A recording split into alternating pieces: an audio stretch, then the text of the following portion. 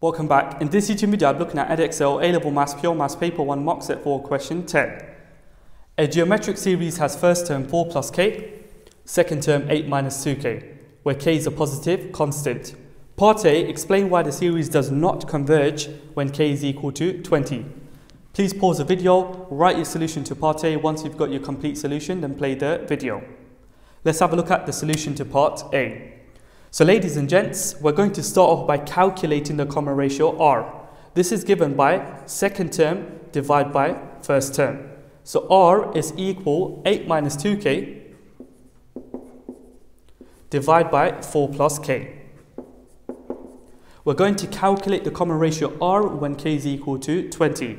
So when k is equal to 20, the common ratio R is equal to 8 minus 2 lots of 20 divide by 4 plus 20. So if I put this into my calculator, I get that the common ratio R is equal to minus 4 over 3. Now we know that A geometric series is convergent if the common ratio R is more than minus 1 but less than 1. Now over here, the common ratio R is equal to minus 4 over 3. This minus 4 over 3 is not in the interval. R is between minus 1 and 1. Hence, the geometric series is not convergent when k is equal to 20. That completes part A of the question. Given that the series does converge, part B, find the range of possible values of k. Please pause the video, write your solution to part B. Once you've got your complete solution, then play the video. Let's have a look at the solution to part B. This time we have that series does converge. This implies that the common ratio R is more than minus 1 but less than 1. The other way to write this inequality is that R is more than minus 1 and R is less than 1. We're going to use this result to set up two inequalities. So we know that the common ratio R is given by 8 minus 2k over 4 plus k. So we've got 8 minus 2k over 4 plus k has to be greater than minus 1 and 8 minus 2k over 4 plus k has to be less than 1. So we're going to solve these inequalities simultaneously.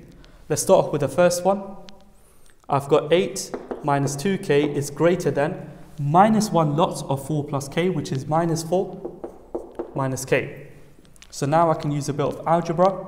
I've got minus 2k plus k, which is minus k, is greater than minus 4 minus 8, which is minus 12. Dividing both sides of the inequality by negative 1 will reverse the inequality. So I'll get k is less than 12. Let's have a look at this one. So over here I've got 8 minus 2k is less than 1 lots of 4 plus k, which is 4 plus k. So now I can rearrange minus 2k minus k, which is minus 3k, is less than 4 minus 8, which is minus 4. Now I can divide both sides of the inequality by negative 3, which will reverse the inequality. So I'll get k is more than 4 over 3. So all in all, the geometric series is convergent for k being more than 4 over 3 but less than 12. So that there is the range of possible values of k. This completes part B of the question and this teaching video. If you found this teaching video useful, please don't forget to subscribe, leave a like, leave a comment, turn on your notification bell so that you receive notifications every time I post a new teaching video.